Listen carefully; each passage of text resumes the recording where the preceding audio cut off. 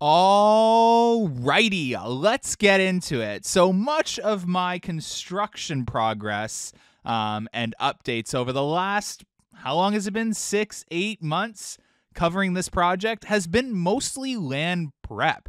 In fact, 99.99999% of it has been land prep all the way down to prepping where they're going to put footings, which is quite bizarre, I must say. Now, Amusement Insiders, myself, is ready to announce that this Monday approaching should be the start of our 2025 project. So, with that being said, Canada's Wonderland should be starting actual construction on Project 2025 starting this Monday. So, if that's correct, which I have high hopes it is, uh, we will start seeing some pretty rapid development with this project. Now, I do predict it'll start mostly in the mountain, as there's going to be a lot of work that needs to be done to drill into that slab of concrete. So, if you've been watching my construction updates still, you've noticed that they, they whoa that they've been doing a lot of removing the concrete slab in Tunnel One. There's been some concrete slab removal in the mountain as well. I've seen them removing that from inside Tunnel 3 area.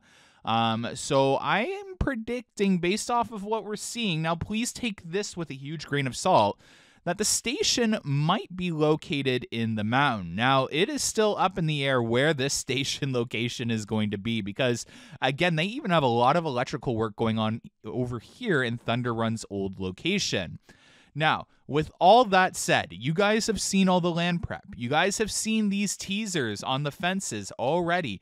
And you guys have not yet quite seen, but there's been a new construction progress. Uh, uh, project on what looks like some theming that's either going to be used for teasers or Moosehorn Falls um, maybe very very low likelihood the uh, griffin's crown but i'm predicting could be used for the teasers and actual theming for the ride being built right now that i'm not quite ready to show on the channel because i'm just trying to figure out what they are entirely but you will see them in tonight's construction update so with that being said wonderland might be getting ready to enhance its teasing campaign on the ride as well so i want to know what do you guys think this coaster model is going to be? Do you think it's going to be Mack? Do you think it's going to be Vekoma, Intamin, B&M, Gerstlauer? What do you think it's going to be? Comment down below what you think it's going to be, and I'm going to respond to every single comment this time.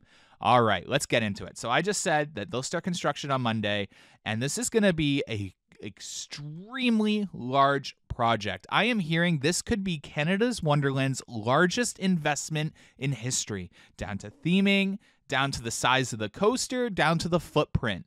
Um, so this is going to be really exciting. It's going to be really awesome to document, and you guys know that I'll be there every step of the way. Now, does that mean track's going to arrive anytime soon? No. My official prediction for track arrival is going to be sometime in June, maybe late May, early June, mid June. That's when we'll start seeing track. But I will tell you, the minute we see a footing outside the mound, every single enthusiast will be able to predict what coaster model and manufacturer this is going to be. The minute we see threaded rod, the minute most of us, every single one of us in this community will be able to predict what this coaster is going to be. So, I have already given you guys my official prediction. I'm sticking by Intamin. Um, but I will tell you, I might have an update for you guys starting this week coming. So stay tuned. Will I be wrong? Will I be right? Comment down below. I want to hear you guys. What do you guys think it's going to be? Do you agree? Do you disagree? But yeah. So with that all said, I'm excited. Get ready, buckle up, because we're about to cover the biggest project in Canada's Wonderland's history, and it's going to be really exciting. Have a good one, guys. Bye.